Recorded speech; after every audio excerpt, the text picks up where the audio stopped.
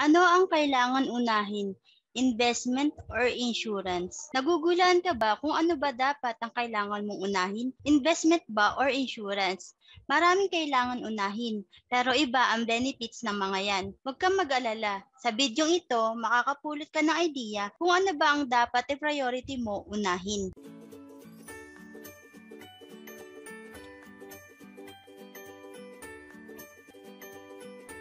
Hello everyone, I'm Jeremy Tolentino, Financial Educator of IMG. Kung hindi ka pa nakaka-subscribe, make sure to subscribe and hit the notification bell para lagi kang updated. Parehas mahalaga ang investment savings mo para sa future mo. Dapat long-term investment. Maganda ito kung may sobra kang pera para panglagay mo dito. Sa insurance naman, take note, kung isa kang breadwinner, dapat may insurance ka. Kung ikaw lang ang inaasahan o may umaasa sa'yo, dapat meron ka nito. Di ba parehas importante, kaya naman ito ang ituturo ko sa'yo. Ito yung tinatawag namin na solid financial foundation. Kumbaga, sa bahay, ano ba yung kailangan na unahin natin? Di ba yung pundasyon? Ganon din sa financial natin.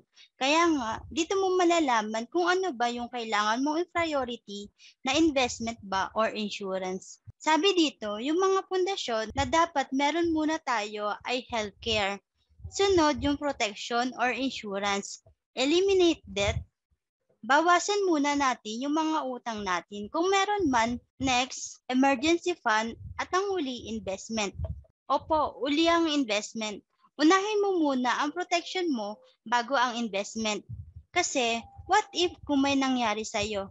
Paano na yung maiiwan mo na umaasa sa iyo? Huli mo na lang yung investment pag meron ka ng mga nasa ilalim niya na tulad nito. Di ba ang ganda? Dito mo malalaman na may financial foundation din pala na dapat tayo sundin.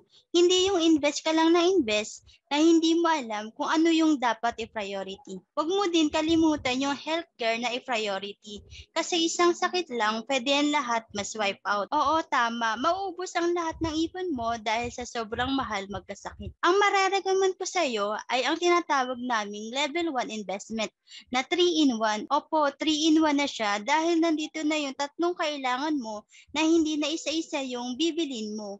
Ito yung Kaiser. Pasadahan ko lang, kumuha ako nito dahil tatlo na ang coverage niya.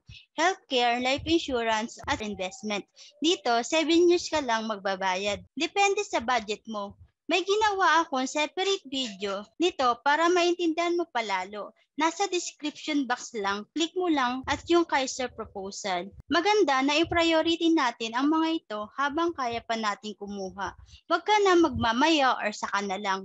Magdesisyon ka na para sa'yo din yan. Dahil natapos mo ang video na ito, may good news ako sa iyo. Pwede kang maka-access ng libro na laman nito. May free ebook na sa description box lang. Nandito din yung Solid Financial Foundation para mabasa mo na din. Kung gusto mo pa matuto about financial, maka-access ng aming free financial webinar via Zoom apps, nandun na din yung time. Mag-register ka lang sa description box para ma-access kita dito sa webinar. Financial independence is not a dream, it's a decision. Take action. Secure your future now. Thank you for watching guys. Please subscribe and support my vlog. Bye!